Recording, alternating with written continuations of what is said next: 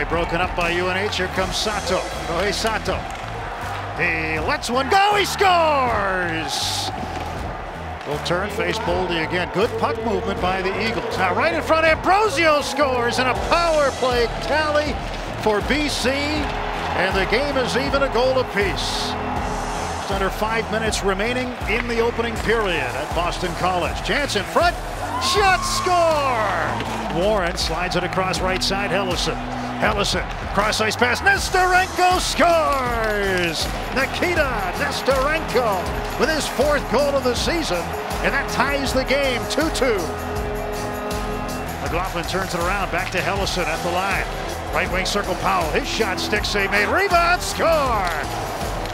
Boston College takes the lead for the first time tonight. Ward a two on one, shorthanded. Ward moving in. Ward, pass across, score! Here's McLaughlin. And they won't get a shot off, and we're going to overtime at Boston College. 30 seconds to go in regulation. Grasso bluffs Pearson, shot, and score!